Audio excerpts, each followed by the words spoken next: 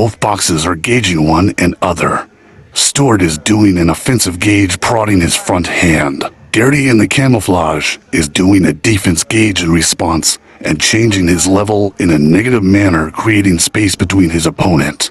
Stuart shows us why we must attack with variety.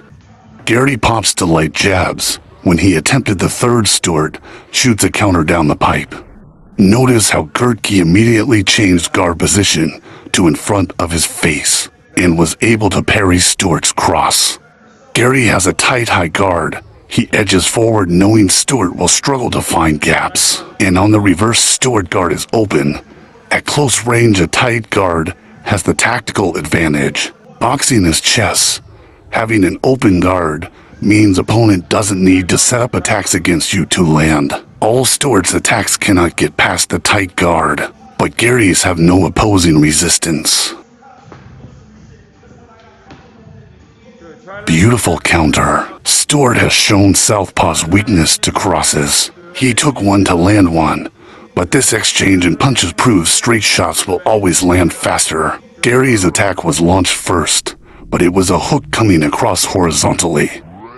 Stuart attack was a vertical cross thus landed first. Garrity is looking to apply pressure. He is slowly edging forward with a tight guard and weight on back foot creating space. Moving forward with a tight guard puts pressure on opponents. They can't see an opening. If they don't react fast, you'll be in punching range. Stuart chains level, making it easier to land body shots. Gary didn't react, so Stuart took advantage with hook to body. At times, when opponents pressure you, it's much better to hold and stop the attack in its tracks. Nice work from Stuart. But what stood out to me in this exchange was Garrity's composure to take shots on a guard staying in punching range. Once in close range, the punches that are short are the punches that land first. In these exchanges, if you're not punching, it's best to hold and close the gap.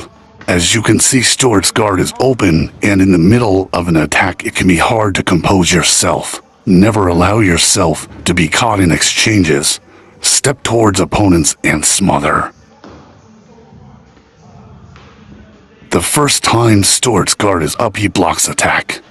Gary shows ring IQ and finishes attack to body. Stuart's only mistake this whole round is his guard is open, but can you see how important it is to have a tight guard? After uppercut, he was countered because Chin was in air. But watch how a tight guard and smothering opponent completely stopped attack. Beautiful counter, Stuart has landed yet another cross, but this time he took his head off the line, slipping attack. Key points from spar always maintain a tight guard. Vary attack from head and body. Be aware on distance of opponent.